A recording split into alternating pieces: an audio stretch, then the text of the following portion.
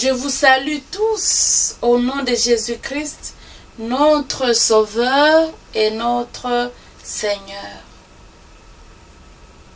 Chers frères et sœurs, je voudrais vous partager ce que le Seigneur m'avait dit il y a longtemps. Et aujourd'hui, il me l'a encore rappelé. Le Seigneur m'avait dit, ma fille, mon enfant, un aveugle ne voit pas parce qu'il est aveugle. Un sourd n'entend pas. Il ne peut pas entendre parce qu'il est sourd. Et aujourd'hui encore, le Seigneur m'a rappelé. Aujourd'hui, j'ai vécu une euh, situation qui n'est pas vraiment agréable pour les gens qui sont euh, qui ont souvent des nausées ou quoi. Pour les gens qui ont un cœur euh, fragile, mais je vais quand même le dire, merci de votre compréhension. Aujourd'hui, j'ai vécu une situation. Donc, j'étais quelque part et j'ai trouvé une personne qui n'était pas vraiment bien, bien dans son corps, dans sa tête. Et euh, voilà. Je l'ai trouvé avec plein de sel sur ses mains. Elle avait des sels sur ses mains. Donc elle, a, elle avait fait sur elle et elle a chipoté et elle en a mis un peu sur sa main. Et puis quand je l'ai vu, je lui ai dit, mais c'est quoi ça? Pourquoi vous avez plein de sel, de matière fécale sur vous mais elle m'a dit non, non, je n'ai rien du tout. Non, il n'y a rien. Regarde, mes mains sont propres, il n'y a rien. Du coup, la parole de Dieu m'est venue. Ma fille, ma fille, je t'avais dit qu'un aveugle ne voit pas, qu'un sourd n'attend pas. On peut creuser un devant un aveugle et il et il tombera dedans parce qu'il ne voit pas ce qui est devant lui. On peut présenter quelque chose à un aveugle, par exemple de la nourriture, des vêtements. Il ne saura pas la présentation, la couleur, parce qu'il ne voit pas. On peut crier devant les oreilles d'un sourd. On peut faire les bruits on peut parler, on peut chuchoter devant ses oreilles, il n'entendra rien du tout parce qu'il est sourd. Alors il y a les gens qui sont en même temps aveugles, en même temps sourds. Que Dieu nous vienne en aide. Et parfois aussi, un aveugle est conduit par un autre aveugle et quand il y a un trou, les deux tombent dedans, malheureusement. J'ai compris encore une fois de plus. Quand la parole nous dit que les gens auront ou ont des yeux pour voir, mais ils ne voient pas. Ils ont des oreilles pour entendre, mais ils n'entendent pas. Leur cœur a été endurci. C'est pour cela que les Écritures nous disent que ceux qui ont des oreilles pour entendre, entendent ce que l'Esprit dit aux églises. Le Seigneur m'avait dit, pour que l'aveugle puisse voir, ici je vais dire d'abord quand on est aveugle physiquement, ou bien quand on est sourd physiquement. Pour que l'aveugle puisse voir, il a besoin des traitements, il a besoin de consultation, de consulter le médecin. Ça peut arriver qu'on lui fasse des opérations, ça peut arriver qu'on lui, qu'on lui donne des traitements et ça peut marcher. Et parfois aussi ça ne marche pas. Parfois il faut aussi un miracle qui se produise pour que la personne puisse voir ou puisse entendre. Mais en ce qui concerne l'aveuglement spirituel, beaucoup de gens Beaucoup de personnes, malheureusement, se trouvent dans cette situation. Beaucoup de personnes, parfois, lisent la parole de Dieu tout au fil du temps, presque chaque jour, parfois du 1er janvier jusqu'au 31 décembre, mais n'entendent rien, n'entendent pas la voix du Saint-Esprit.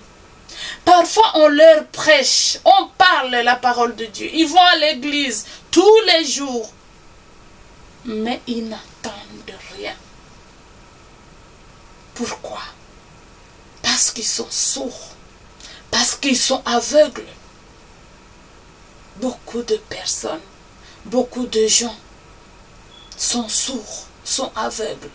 Parfois on dit que dans les fausses églises, là où il y a des faux pasteurs, de faux docteurs, de faux prophètes, c'est là où il y a beaucoup, c'est là où il y a d'immenses foules, c'est là où il y a beaucoup de gens. Mais pourquoi il n'y a pas de repentance? Il n'y a pas de changement les gens restent toujours les mêmes. Les gens sont endurcis. Les gens sont endoctrinés. Les gens sont euh, il y a un terme qu'on dit, ils sont asphyxiés, je ne sais pas, je sais pas le terme, on les a vraiment aveuglés, ils ne voyaient pas. Ils ne savent pas et ils ne réalisent pas. Ils ne voient pas qu'ils sont dans l'erreur, ils ne voient pas qu'ils sont dans l'obscurité. Ils ne voient pas qu'ils sont perdus. Non, on peut leur dire, on peut leur conseiller, Écoute, ce que tu es en train de faire, ce que tu es en train de vivre, là où tu es en train de partir, la personne à qui tu es en train de fréquenter, c'est pas une bonne personne. Là où tu vas, tu es en perdition, on te trompe, on t'aveugle, mais rien. Rien. Pourquoi? Parce que les gens sont prisonniers, sont captifs. Les Écritures nous parlent dans Ésaïe 61, 1 à 2 ou 1 à 3, on pourrait lire ça. Les Écritures nous disent ceci. L'Esprit du Seigneur, l'Éternel, est sur moi, car l'Éternel m'a oint pour porter de bonnes nouvelles aux malheureux. Il m'a envoyé pour guérir ceux qui ont le cœur brisé, pour proclamer aux captifs la liberté et aux prisonniers la délivrance. Pour publier une année de grâce de l'Éternel et un jour de vengeance de notre Dieu, pour consoler tous les affligés, pour accorder aux affligés de Sion, pour leur donner un diadème au lieu de la cendre, une huile de joie au lieu du deuil, un vêtement de louange au lieu d'un esprit abattu afin qu'on les appelle des térébintes de la justice, une plantation de l'Éternel pour servir à sa gloire. L'Esprit de Dieu, c'est l'Esprit de délivrance, c'est l'Esprit de libération. Mes frères et sœurs, je vous en prie, demandez à Dieu de sonder vos cœurs, comme, il comme c'est dit dans, dans les livres de Psaume 139. Sonde-moi, ô Dieu, et connais mon cœur. Regarde si je suis dans une mauvaise voie et conduis-moi sur la voie de l'éternité. Demande à Dieu d'ouvrir tes yeux pour que tu puisses voir. Quand tu es dans l'erreur, quand tu es dans le péché, quand tu es dans le mal, demande à Dieu d'ouvrir tes oreilles pour que tu puisses entendre sa voix, pour que tu puisses entendre la voix du Saint-Esprit. Un jour, je parlais à quelqu'un qui avait une apparence bizarre ou qui mettait des choses bizarres sur, sur lui. Parfois, il mettait des boucles dorées de tête de mort, il mettait des grosses bagues, il mettait des gros colliers, des cheveux tressés. Il s'habillait bizarrement. C'était un garçon, un enfant d'un pasteur. Mais je lui dis, mon frère, avec tout ça, tout ce que tu mets sur toi, et quelqu'un d'autre, je suis parti dans sa chambre, il y avait des photos bizarres, rouges. Ah Je lui ai dit, mais qu'est-ce que c'est ça? Il m'a dit, ça c'est rien ça. C'est rien. C'est parce que j'aime bien Voilà, j'aime bien le pipo, rock'n'ball, je sais plus quoi. Rock'n, des choses comme ça. Il, me parlait, un me parlait comme, comme ça, et l'autre me disait, pour moi, ça ne me dérange pas. Le Saint-Esprit ne m'a pas convaincu que c'était mauvais. Moi, je lui ai dit, est-ce que tu entends la voix du Saint-Esprit quand il te parle? Parce que beaucoup de gens pensent entendre la voix de Dieu, pensent attendre la voix du Saint-Esprit alors qu'ils sont sourds. Non, ce n'est pas la voix du Saint-Esprit que vous avez entendue quand vous êtes sourd. Il faut d'abord la délivrance. Il faut la libération. Je prie pour que Dieu te touche, ma soeur, mon frère. Si tu es encore enchaîné,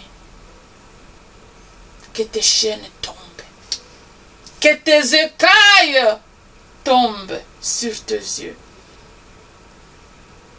pour que tu puisses voir la lumière de Dieu, pour que tu puisses voir les merveilles de Dieu, pour que tu puisses voir la bonté, l'amour, la grandeur de Dieu, pour que tu puisses entendre sa voix et faire sa volonté.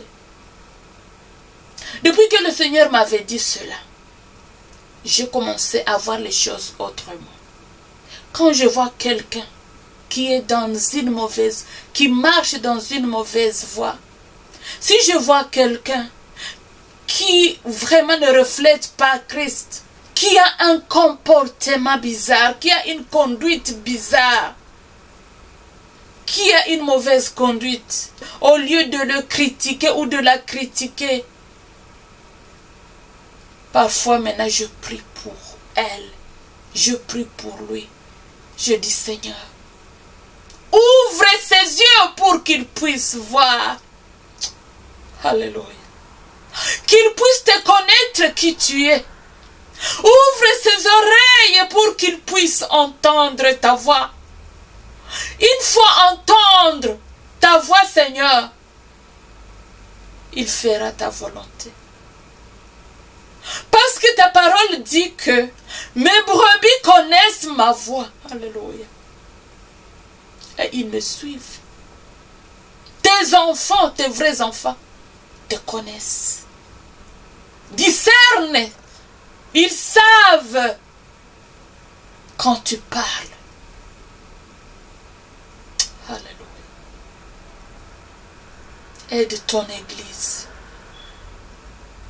Aide tes enfants, Seigneur, parce que beaucoup sont captifs, beaucoup sont prisonniers, Seigneur. Fais tomber leurs chaînes, brise leurs chaînes, Père. Oh Jésus, brise. Le serviteur d'Élysée était aveugle. Il avait les yeux, mais il ne voyait pas. Et Élisée avait dit, Seigneur, ouvre ses yeux pour qu'il puisse voir que ceux qui sont pour nous sont plus nombreux que nos ennemis. Alléluia. Si quelqu'un est délivré, si quelqu'un est libéré, si le Fils vous libère, vous serez vraiment Et quand tu libères, quand tu délivres, c'est une délivrance totale. C'est une délivrance éternelle, oh Jésus. Libère tes enfants. Il y a beaucoup qui sont captifs, qui sont emprisonnés, qui sont aveuglés. Ils pensent voir, mais ils ne voient ils pensent entendre, mais ils n'entendent pas. Ils sont trompés par les fausses doctrines. Parce qu'ils ne savent pas discerner ta volonté. Parce qu'ils sont aveugles et sourds. Oh, l'Église de l'Odyssée. Quand nous lisons le livre d'Apocalypse 3, 14 à 22, nous pouvons voir l'église de la Odyssée. Pensait qu'elle voyait, elle pensait qu'elle était riche, qu'elle n'avait besoin de rien.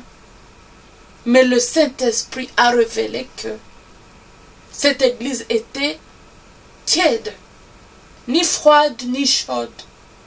Le Saint-Esprit avait dit, si tu continues, je vais te vomir. Tu seras vomi. Mais, comme Dieu est miséricordieux, a dit à l'église, je te conseille d'acheter chez moi des vêtements blancs pour que tu sois habillé. Alléluia. Demandons à Dieu d'éclairer nos yeux pour que nous puissions voir. Nous, nous verrons. Si nos yeux sont éclairés, nous verrons sa lumière, nous verrons sa bonté, nous verrons sa sainteté. Et nous vivrons dans la crainte de l'éternel. Que Dieu nous vienne en aide. Ma soeur, mon frère, réfléchis sur ta vie. Est-ce que tu vois ou tu ne vois pas? Est-ce que tu entends ou tu n'entends pas?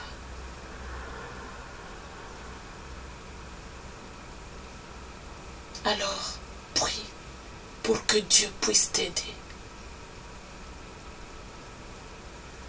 Afin que tu ne sois plus trompé, piégé par l'ennemi ou par les faux prophètes, les faux docteurs et les faux pasteurs. Que Dieu nous vienne en aide. Amen. Merci Seigneur.